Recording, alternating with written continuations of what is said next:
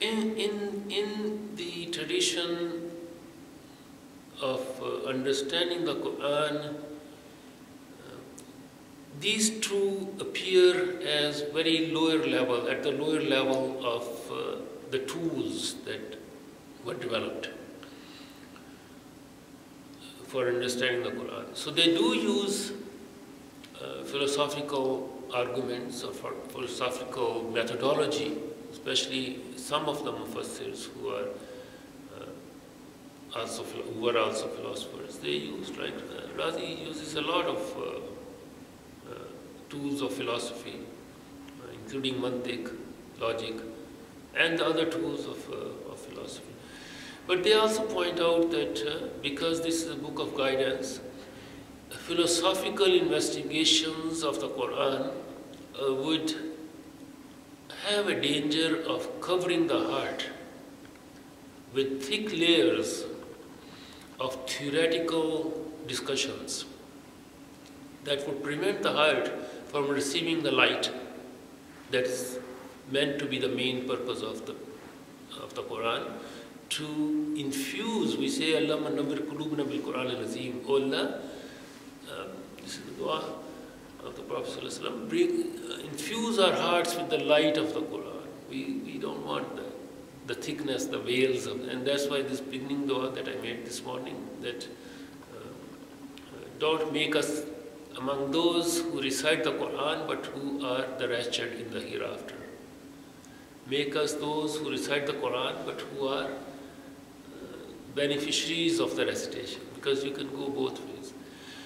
The scientific methodology is even more problematic in understanding the Quran because uh, the, uh, the tools that are required are not uh, observation but rather uh, understanding number one the language itself but like what we just did with the word one word khalq what does the khalq conceptually mean? This is a word in the, in the Arabic language, but what does it conceptually mean? And he gave us a whole list of, Imam Raghib gave us a whole list of conceptual understandings.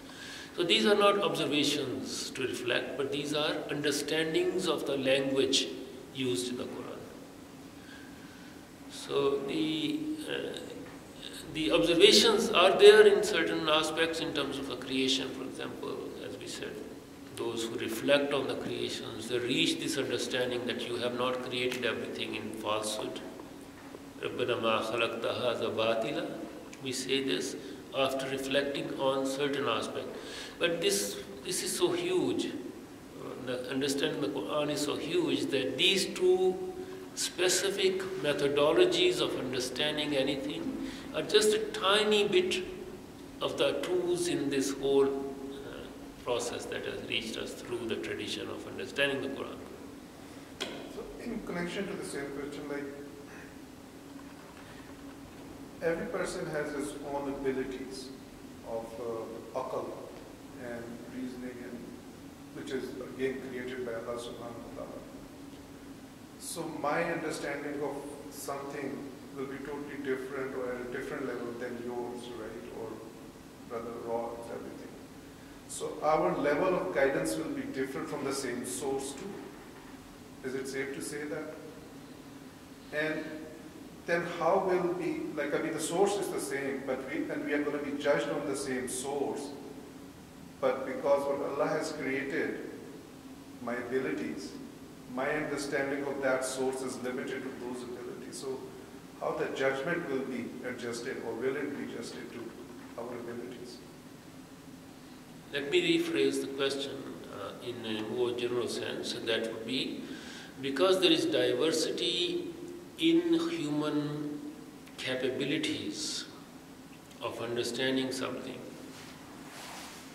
although Allah subhanahu wa ta'ala has given all human beings the same inner resources, uh, practical observation tells us that we have different understanding, different levels of understandings of the same thing, and how would that difference reflect in the judgment? Because judgment is on the same basis. Of, is that more or less correct?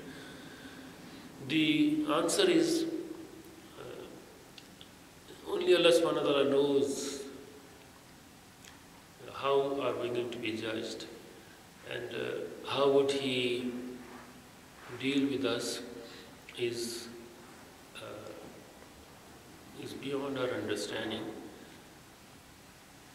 The diversity in the actualization of what Allah subhanahu wa ta'ala has put in the human constitution.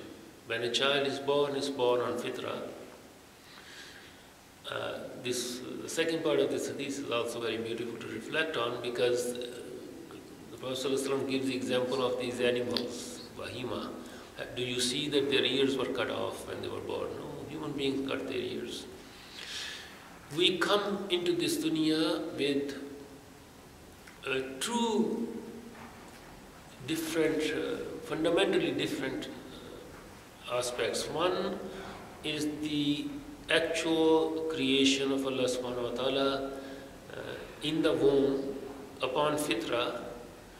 But as soon as that creation materializes, the two liquids mix and mingle and produce this and uh, it starts to develop,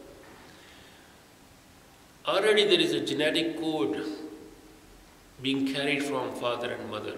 Already there is a cultural codification happening in the environment in which the mother is present after the conception. And this is going back to your mm-hmm. the the hearing that develops before the sight in the womb is hearing a particular language. Mm-hmm. That language is being written in the child's being that language is already conditioning the thinking abilities of the child because each language comes with its own framework of thinking.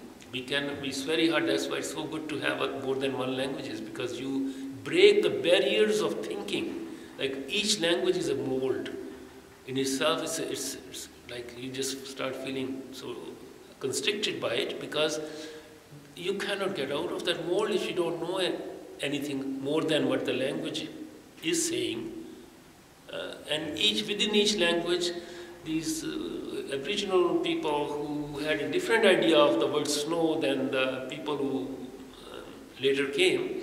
So each each frame uh, constricts, reduces the potentials. It's called bilkuwa. So uh, bilkuwa uh, is uh, is what Allah subhanahu wa ta'ala has given us and then the actualization of that uh, in individual cases. Because Allah subhanahu wa ta'ala knows the conditions in which He has put every single one of us. So the Allah knows, but the understanding is that the scale is relative to La yukallifullahu nafsan illa wusaha. The scale of judgment is very, very individualized situation. The one who wasn't given the eyes is not going to be asked, what did you see with your eyes?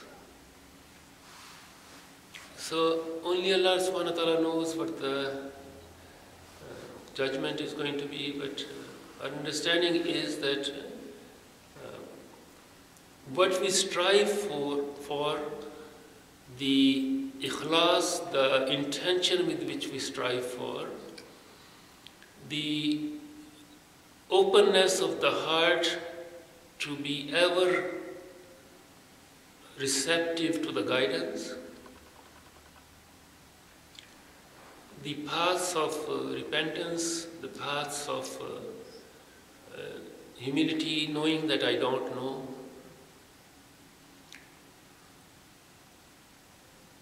All these are counted, all of these are in the scale.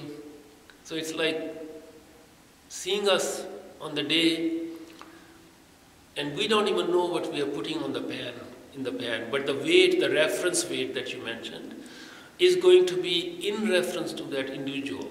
So Allah subhanahu wa ta'ala is going to judge according to what He has granted to each of His creations.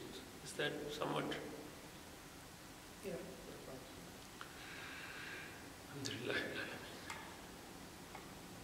Yes. And this question came to my mind because you were explaining that one word, he, lam, ka, has so much implications. And most of us here cannot understand it because we do not know the language. So we are already at disadvantage. Mhm. You know what I mean? Yes, yes, yes. So the, the answer to that is yani, at a level of, uh,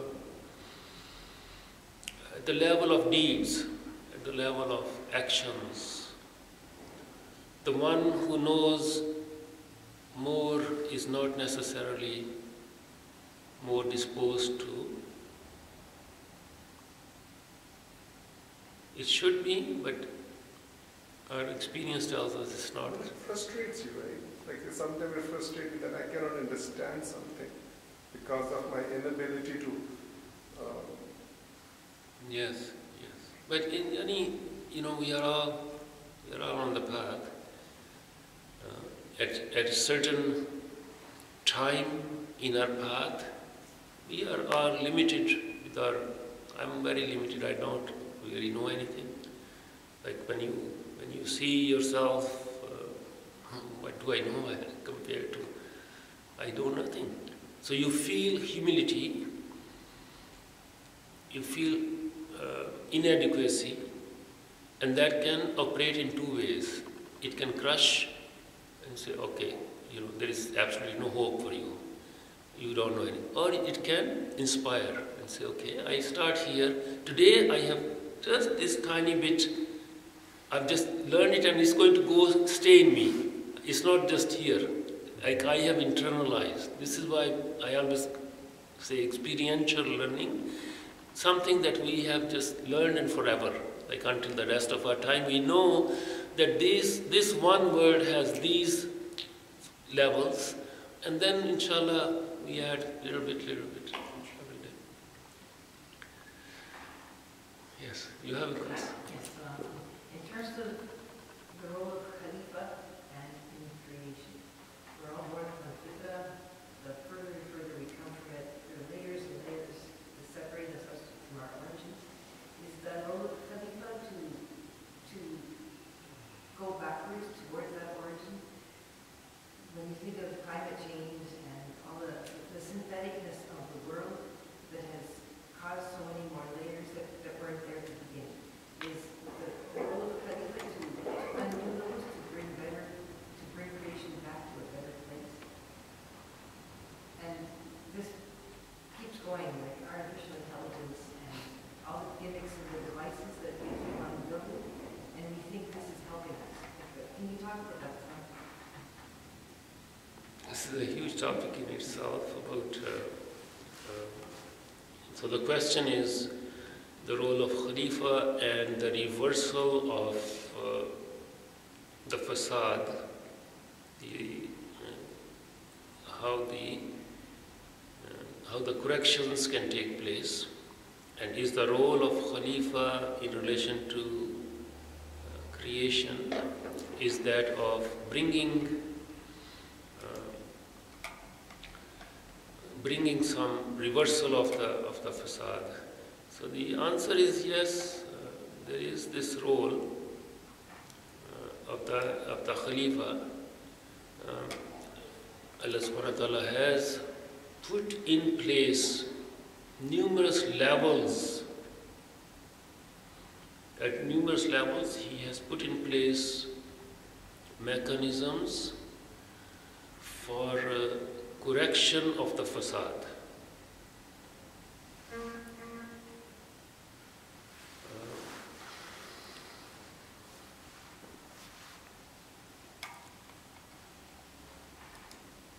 This is a huge topic in itself, so I'm trying to find the shortest possible answer here. When Allah sent uh, prophets, sorry? Uh, when Allah subhanahu sent prophets, He, he also uh, put a mechanism of fundamental corrections, like at the very base level.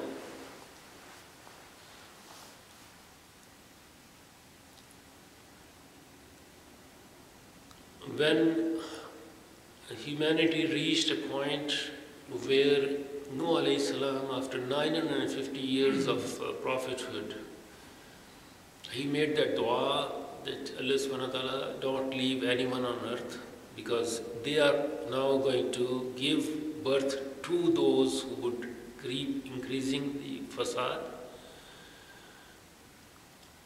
So all of these were known to Allah subhanahu wa ta'ala. They were all part of the his they are all part of his knowledge and they are all part of the corrective mechanisms in place.